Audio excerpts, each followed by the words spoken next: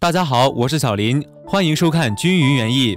不少花友养的杜鹃，花开的不如人意。其实水里加一料，调成特饮，杜鹃超爱喝。花前每月喝两次，花儿多又艳。这个水当然不是一般的清水，而是醋水。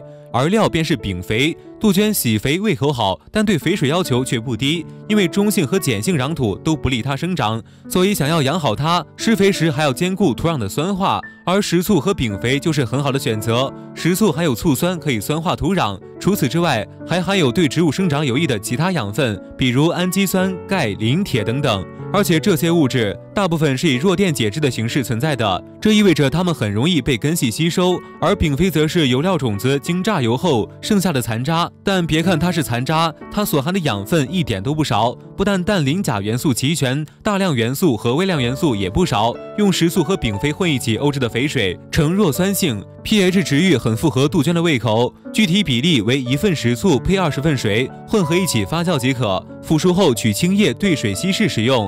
好了，本期视频就到这里。喜欢我们的视频，记得订阅关注哦。下期再见。